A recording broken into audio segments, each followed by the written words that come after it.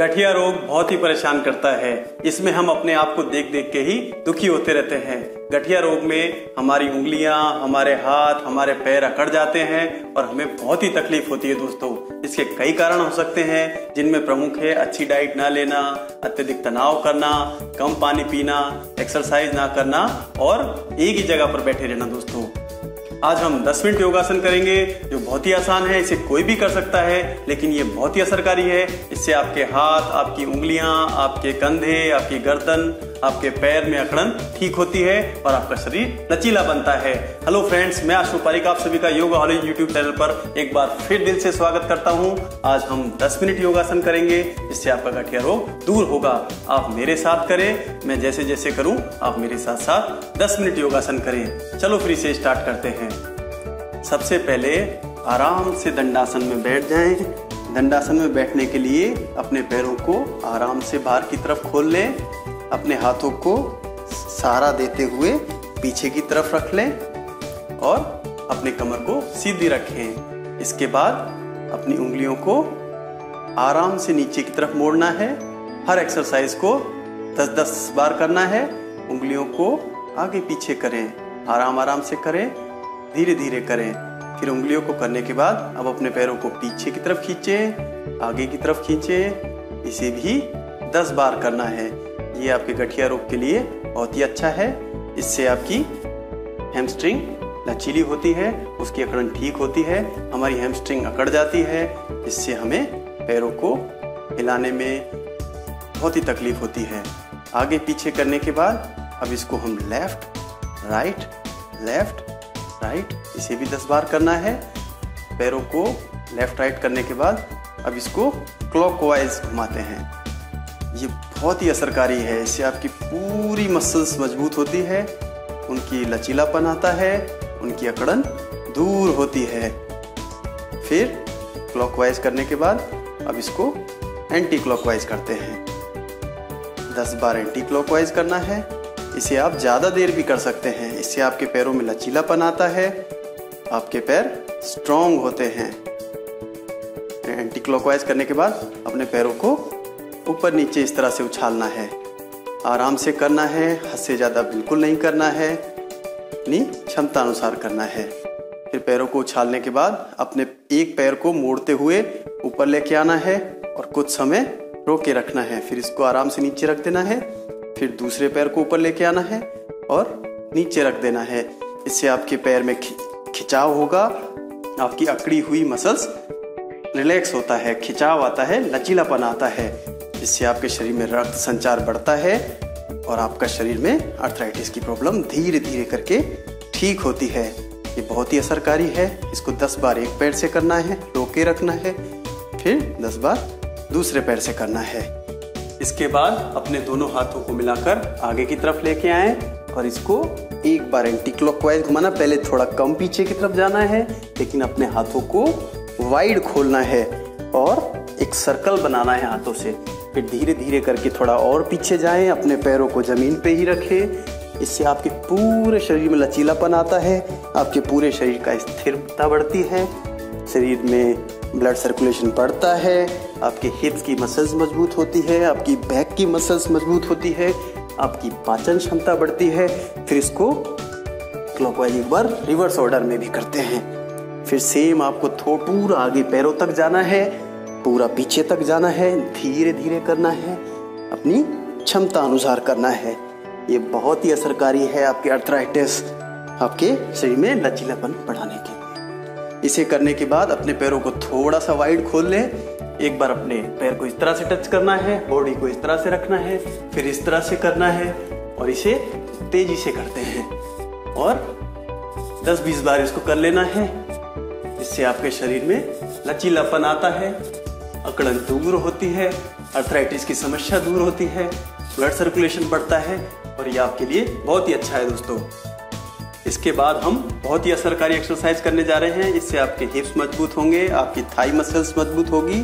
सबसे पहले अपने पैर को अपनी थाई के ऊपर रखें और पैर को नीचे ले जाएँ और एक बार चेस्ट ऊपर मोड़कर चेस्ट पे टच करें।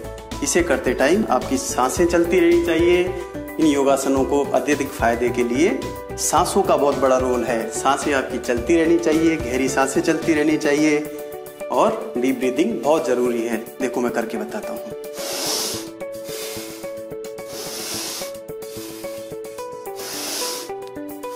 आप और भी गहरा ले सकते हैं।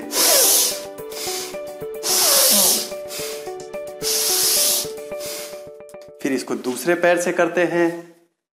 पैर को मोड़कर थाई पे रखें, नीचे टच करें। इससे आपकी हैमस्ट्रिंग स्ट्रेच होती है, पैर में ब्लड सर्कुलेशन बढ़ता है हिप्स की मसल्स दूर होती है, आपकी बैक सीधी रहेगी और आपका मन शांत रहे। इधर उधर के विचारों को शरीर से हटा दें।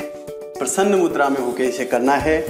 इससे आपके शरीर का लचीलापन बढ़ता है और अर्थराइटिस की समस्या ठीक होती है। फिर इसको दोनों पैरों से कर लेते हैं। दोनों पैरों से करने के लिए अपने पैरों को मिलाकर इस तरह से ज़मीन पर रखें। स्थिरता बनाने के लिए आपके टखने आपके हिप्स पे टच होंगे और आप इनको हाथों से कस के पकड़ लें, कमर सीधी रखें और फिर इस तरह से ऊपर नीचे करना है। आप इसको पूरा ऊपर लेके आए और पूरा नीचे लेके जाएँ। अगर आपसे नहीं होता है तो एक हाथ से पैरों को पकड़ें और इस तरह से दबाएँ। लेकिन जितनी क्षमता है, उतना ही करें। इसको 15 से 20 बार या फिर एक मिनट तक कर सकते हैं। इससे आपके पूरे लेग में ब्लड सर्कुलेशन बढ़ता है, आपका लचीलापन बढ़ता है और अर्थराइटिस की समस्या धीरे धीरे करके देखते देखते गायब हो जाती है। अब पैरों की एक्सरसाइज करने के बाद अब हम अपने हाथों की एक्सरसाइज करेंगे। इसके लिए सबसे पहले अपने हाथों को सामने ले आए, अपनी उंगलियों को फोर्सफुल्ली बंद करना है और खोलना है। इससे आपके हाथों की मसल्स ठीक होती हैं हाथों की मसल्स मज़बूत होती हैं ब्लड सर्कुलेशन बढ़ता है हार्ट में प्रेशर बढ़ता है, जिससे आपका हार्ट स्ट्रांग होता है और ब्लड फ्लो अच्छे से पूरे शरीर में होता है।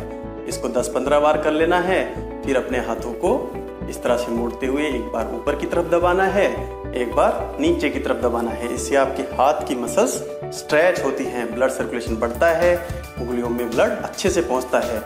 इससे अर्थराइटिस की समस्या ठीक होती है। ये बहुत ही असरकारी एक्सरसाइज है। इसको आपको हर रोज करना है। फिर दूसरे हाथ से कर लेते हैं। दूसरे हाथ से भी 10-15 बार इसको कर लें। फिर अपने हाथों को इस तरह से ले जाते हुए एक बार क्लॉकवाइज घुमा लेना है 10-15 बार। धीरे धीरे करना है। पूरा 360 एंगल बनाना है। फिर इसको रिवर्स ऑर्डर में कर लेते हैं। इससे आपके पूरे हाथों की मसल स्ट्रेच होती है, खिंचाव आता है। आप इसको महसूस कर सकते हैं। ब्लड सर्कुलेशन बढ़ता है और आपके हाथों में लचीलापन आता है और अर्थराइटिस की समस्या ठीक होती है। फिर हाथों को इस तरह से करते हुए रोटेट करना है इससे आपके कोहनियों में ब्लड सर्कुलेशन बढ़ता है, इससे आपकी कोहनियों की गठिया ठीक होती है और फिर इसको साइड से भी कर लेते हैं। ये बहुत ही असरकारी है। इसे हर रोज आपको करना है 10-15 बार करना है। फिर अपने हाथों को कंधों पर स्थिर रखते हुए एक बार क्लॉकवाइज घुमा लेते हैं, पूरा घुमाना है 360 बिल्कुल आलस नहीं करना है धीरे धीरे करना है। 360 घुमाना है, जल्दबाजी बिल्कुल नहीं करनी है। अपने मन को शांत रखना है, सभी विचारों, सभी तनावों, सभी चिंताओं को दिमाग से हटा देना है। मैं आपको बता देना चाहता हूँ कि एक्सरसाइज करने से हम ठीक होते हैं, लेकिन उससे भी ज़्यादा ज़रूरी है हमारा शांत मन, प्रसन्न चित्त मन।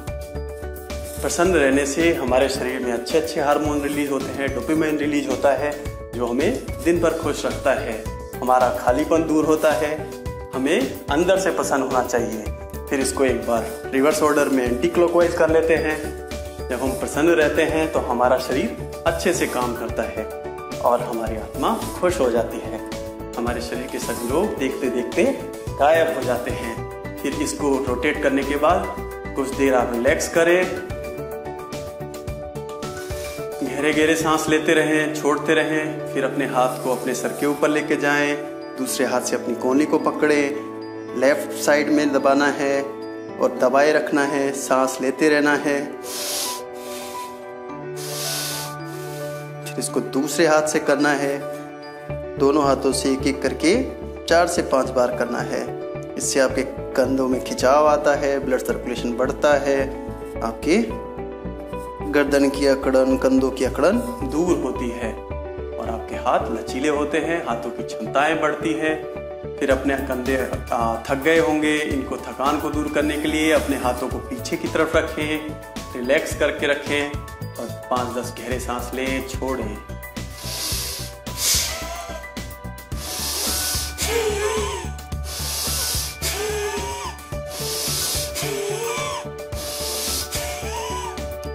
इससे आपके शरीर में नव प्राण आते हैं ऑक्सीजन लेवल बढ़ता है और आपका मन प्रसन्न हो जाता है।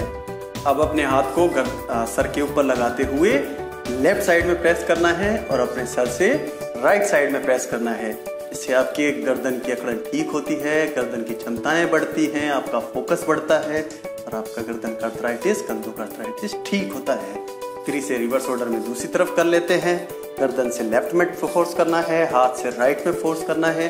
अपनी क्षमता अनुसार करें, हद से ज़्यादा ना करें। जितना आपसे हो पाए, उतना करें। फिर इसको बदल बदल के चार पाँच बार दोनों हाथों से कर लेते हैं। और इसको आराम आराम से और अच्छे से करना है। ये बहुत ही अच्छा है। इसके बाद आगे से कर लेते हैं। अपने गर्दन से आगे फोर्स करना है। अपने हाथों से पीछे फोर्स करना है। इससे आपकी गर्दन की अच्छे से एक्सरसाइज हो जाती है।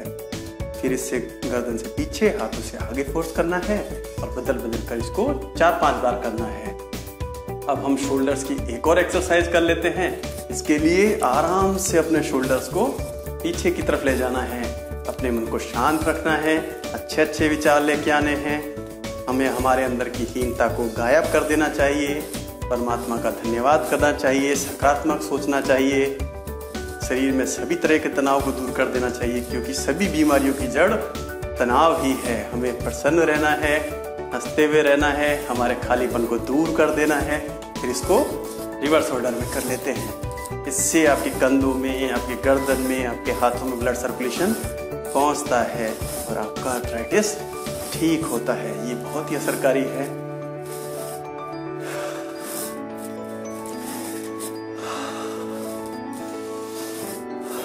गहरा सांस नाक से लेना है, मुँह से छोड़ना है और अच्छा अच्छा महसूस करना है। इसके बाद अब हम अपनी गर्दन की एक और एक्सरसाइज कर लेते हैं। इसके लिए अपनी गर्दन को एंटी क्लॉकवाइज घुमाना है। धीरे धीरे करना है, पूरा करना है। अपने कंधे रिलैक्स रहेंगे, आपकी बैक बिल्कुल सीधी रहेगी, आपका पूरा शरीर रिलैक्स रहेगा, आपका पूरा फोकस सांसों पे रहेगा। सांसों को लेना है, छोड़ना है, गहरी सांस लेनी है